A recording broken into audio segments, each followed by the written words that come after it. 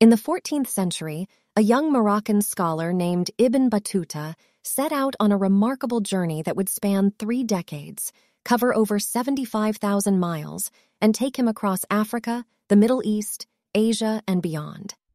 His story is one of adventure, cultural exchange, and a thirst for knowledge that would establish him as one of history's greatest travelers.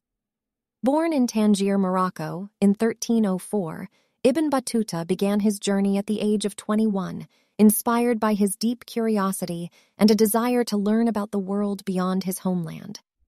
Setting out on a pilgrimage to Mecca, he embarked on an expedition that would take him to distant lands and introduce him to diverse cultures, religions, and ways of life. Throughout his travels, Ibn Battuta visited places that were then considered remote and unfamiliar to most people in the Islamic world. He ventured through the Sahara Desert, crossed the Arabian Peninsula, and explored the bustling cities of Egypt, Persia, present day Iran, and India. He then continued his journey, traversing the vast Mongol Empire, reaching China, and even sailing across the Indian Ocean to Southeast Asia. Ibn Battuta's remarkable adventures didn't end there.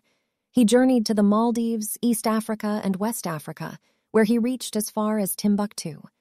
His insatiable curiosity and relentless desire to explore led him to encounter new civilizations, encounter various customs, and engage with different societies, leaving a lasting impact on his worldview. Throughout his travels, Ibn Battuta documented his experiences in a travelogue known as Rihla, The Journey. This captivating account became a significant historical and cultural record, providing invaluable insights into the societies and civilizations he encountered during his extraordinary odyssey. Ibn Battuta's story highlights the power of travel to foster understanding and appreciation of diverse cultures.